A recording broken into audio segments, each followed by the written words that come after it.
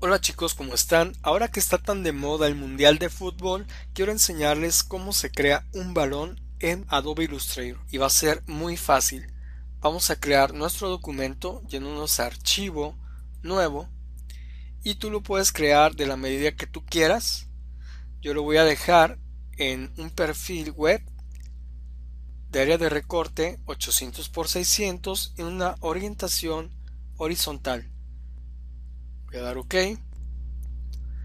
Ahora voy a dar clic sostenido sobre la herramienta rectángulo. Y enseguida damos clic aquí sobre esta pestañita para sacar todas las herramientas de formas vectoriales. Voy a dar clic sobre la herramienta polígono. Aquí en color frontal lo voy a poner de este color azul. En trazo lo voy a poner de color blanco y de grosor lo voy a poner a dos puntos. Doy un clic sobre el lienzo. En radio lo pongo en 40 píxeles. En lados 6. damos OK. Vamos a dar doble clic sobre esta herramienta que está aquí, que es rotar y se activa con la letra R. Aquí en ángulo lo ponemos en 90 grados damos OK. Tomo la herramienta selección, presiono la tecla Alt y sin soltar voy a arrastrar y lo pongo aquí. Voy a presionar las teclas Control D para hacer 8 duplicados más. Control D, 1, 2, 3, 4, 5, 6, 7, 8. Para que nos queden 10 copias. Voy a seleccionar todo arrastrando el ratón. Presiono Alt y sin soltarla jalo y la pongo aquí. Selecciono todo nuevamente arrastrando el ratón. Presiono la tecla Alt sin soltar, jalo y lo pongo aquí. Doy un clic fuera y ahora voy a seleccionar solamente esta fila arrastrando el ratón.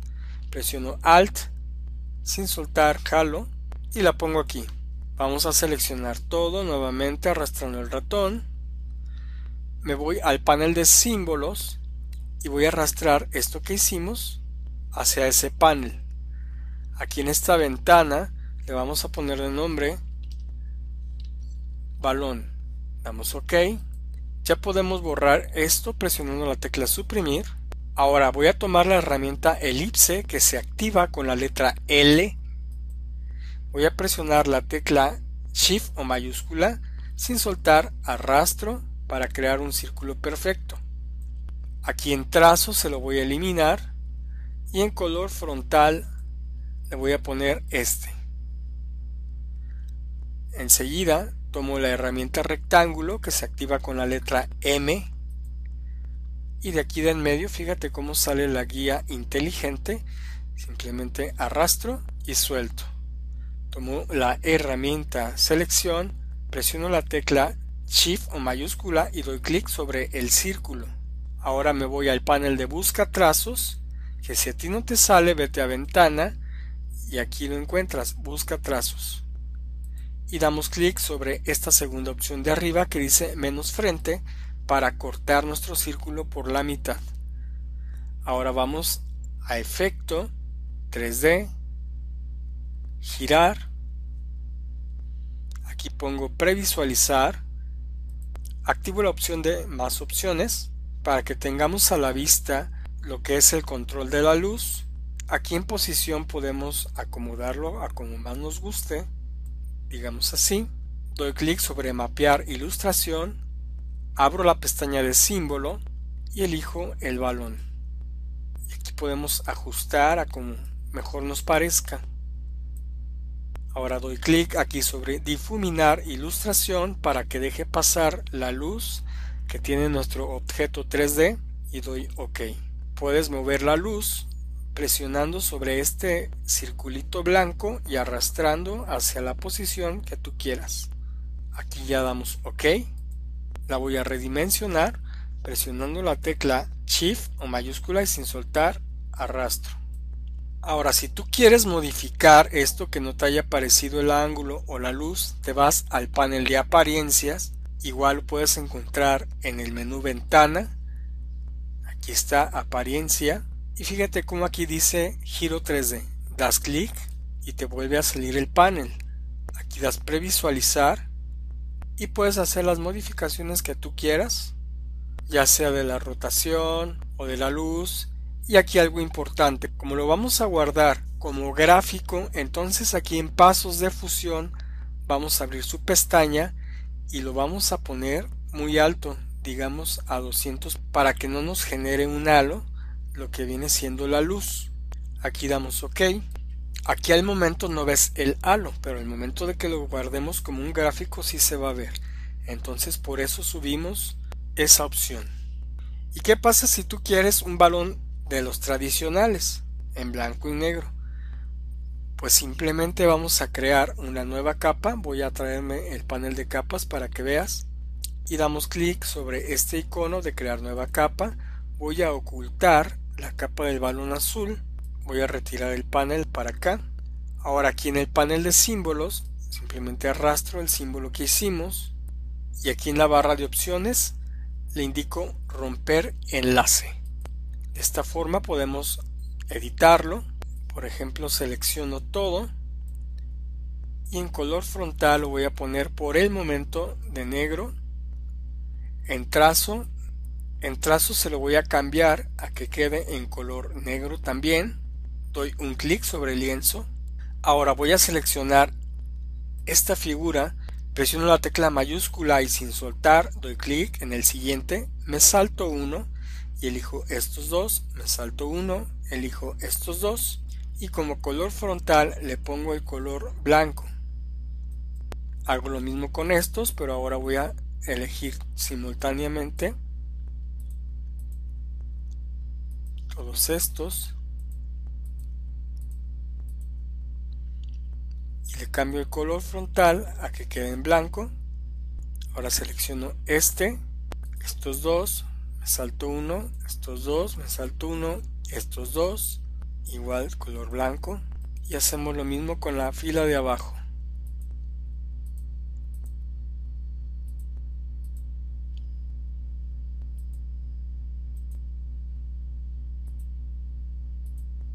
Este creo que iba de color blanco verdad se lo pongo blanco. Vamos a arrastrar el ratón para elegir todo lo arrastro al panel de símbolos le pongo de nombre balón 2 doy ok aquí borro esto vuelvo a hacer el elipse le quito el trazo en color frontal le pongo este color tomo la herramienta rectángulo tomo la herramienta selección presiono la tecla mayúscula y selecciono el círculo, voy a buscar trazos y le indico menos frente, me voy a efecto, 3D, girar, previsualizar, mapear ilustración, abro la pestaña de símbolos, elijo el balón 2, lo ajusto a que quede a mi gusto, doy difuminar ilustración, aquí damos ok. Aquí movemos el ángulo le movemos la luz. En pasos de fusión abrimos su pestaña le ponemos 200 y aquí damos ok. Elijo la figura la redimensiono. Ahora lo vamos a guardar como un gráfico png sin fondo yéndonos a archivo exportar. Me voy a ir al escritorio voy a dar clic derecho le indico nuevo carpeta le pongo de nombre balones abro la carpeta y aquí le pongo balón 1 doy a exportar. Aquí en resolución la voy a dejar así en alta de 300 píxeles por pulgada en suavizado optimizado para ilustraciones. En color de fondo transparente. Doy ok. Una vez que se haya guardado entonces vamos a ocultar su capa y vamos a hacer visible la capa del balón azul. Igual me voy a archivo exportar aquí le pongo de nombre balón 2, doy exportar, dejo tal cual las opciones, simplemente doy OK, esperamos a que se guarde, hago visible la capa del otro balón y vamos a guardar ahora el editable yéndonos a archivo, guardar como, aquí le pongo balones editable en tipo Adobe Illustrator. Damos guardar. Aquí en esta ventana simplemente damos ok. Me voy al escritorio abro la carpeta y aquí podemos ver cómo tenemos el archivo editable y tenemos nuestros dos gráficos. Vamos a abrirlos para previsualizarlos. Este es el balón azul este es el balón tradicional ¿qué les pareció? ¿verdad que fue muy fácil? Yo soy su amigo Dani Saavedra, mejor conocido como Yanko Cero.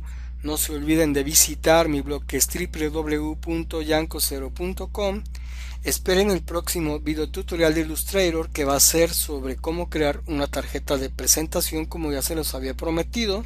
Y bueno, muchas gracias por su atención y nos vemos hasta la próxima. Chao.